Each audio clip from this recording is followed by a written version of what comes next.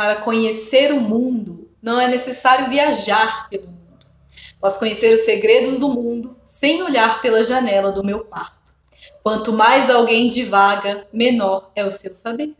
O sábio atinge a sabedoria sem erudição, alcança sua meta sem esforço, termina sua jornada sem viajar.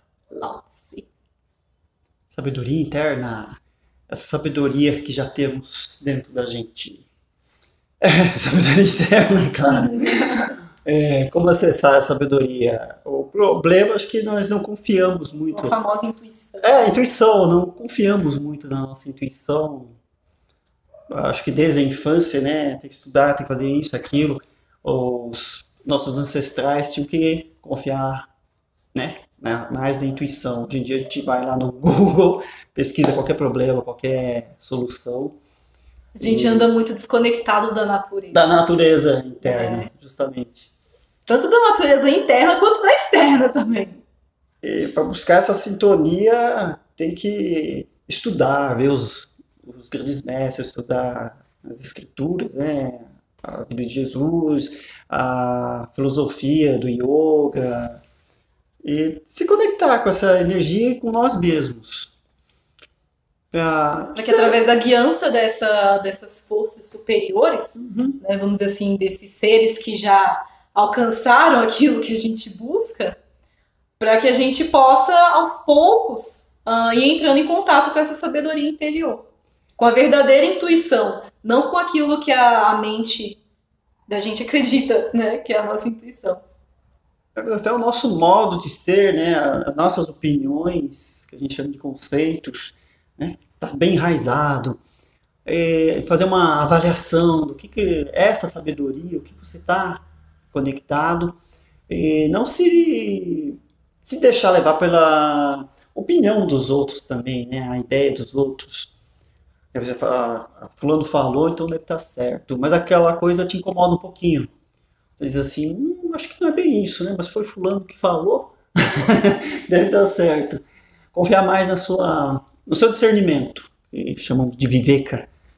Você saber discernir o certo do errado aí você já vai estar acessando um pouco a sua ancestralidade de outras vidas, a, a tua ligação com a terra, com a natureza e o que você acha no seu íntimo, na sua essência, o que é o certo, o que é o errado. Ter acesso mais a essa intuição. Porque afinal de contas a gente está sempre querendo jogar responsabilidade pro outro, né? Então a gente não quer ou não sei se a gente tem preguiça, não sei o que acontece com nós seres humanos, que você não decide, você fica esperando que a solução caia do céu, sim, ou que alguém fale alguma coisa para você, você fala, ah, eu vou, vou fazer determinada coisa, né? Porque fulano falou que era daquele jeito, que era certo. E às vezes mesmo que nem você falou, né? Você tá com né, uma pontinha de desconfiança desse fala, não, mas eu vou fazer porque fulano falou que que era bom, né? E fulano é fulano, então deve estar certo. É, tomar decisões, né? Sim. A, a turma sempre vai lá consultar uns amigos, né? Falar esse problema, e assim, dar uma luz. na maioria das vezes a pessoa pega o conselho do, do fulano, né? Às vezes o fulano não tem experiência nenhuma, não sabe. que a vida de cada um é muito complexa, né? E não adianta você jogar toda a tua carga nas costas do outro e, e o outro falar, faz isso. Daí você vai lá e faz.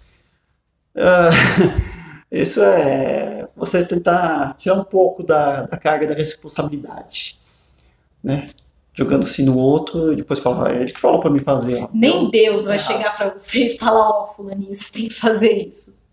Não, porque você tem livre-arbítrio.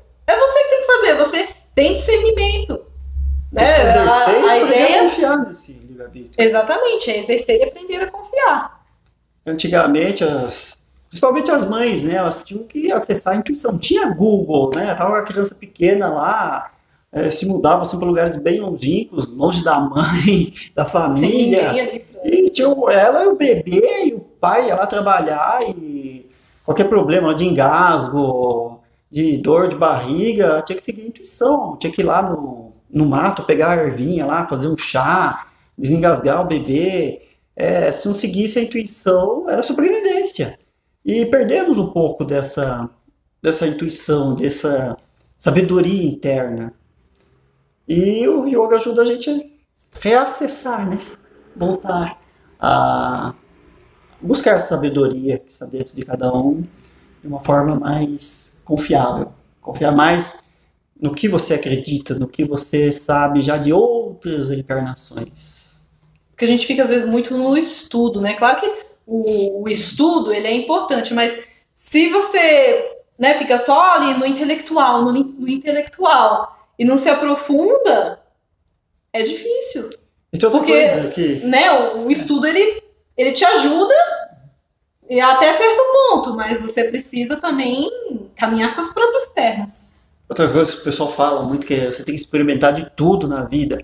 Ah, aí, se for experimentar tudo na vida, agindo de uma forma muito estúpida. Porque você sabe que, por exemplo, dos outros, das outras vidas que você já teve, tem coisa que dá errado, né? Não vai dar certo.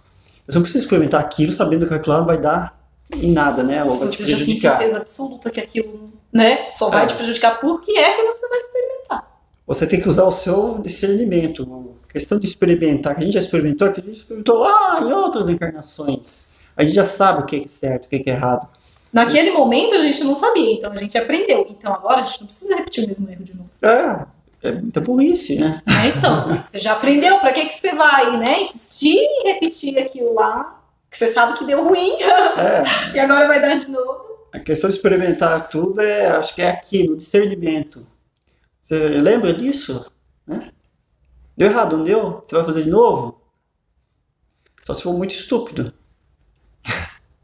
Aí que tá a sabedoria interna, seguindo a intuição, teus até os próprios instintos, né? Medo de altura, medo de a gente vai chegar na questão dos medos também. Você se respeitar, respeitar esses limites. Não porque fulano tá fazendo, fulano tá experimentando, você vai também. Siga a sua inteligência interna, sabedoria, aliás. Quanto mais cedo você descobrir que você não é o fulano, melhor vai ser pra É. você. Então aprenda a ser quem você é. Independente do que o outro tá fazendo, o outro é o outro. Você é você. Simples assim. Gratidão. Gratidão.